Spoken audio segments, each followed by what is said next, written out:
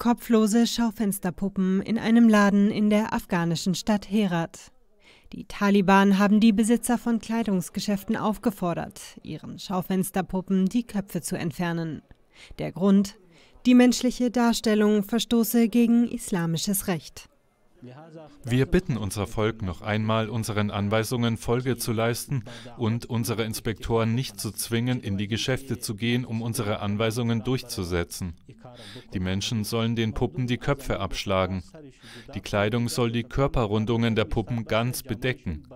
Das wird den Ladenbesitzern keine Probleme bereiten, sondern ein Laster verhindern, was gut für sie, für das Land und für uns alle ist.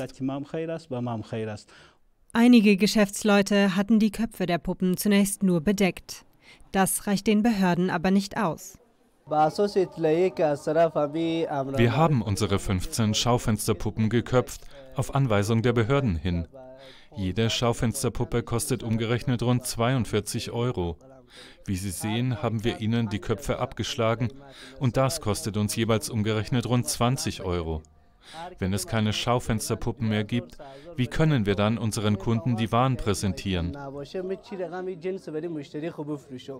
Seit ihrer Machtübernahme im August haben die Islamisten eine zunehmend strikte Auslegung des islamischen Rechts durchgesetzt.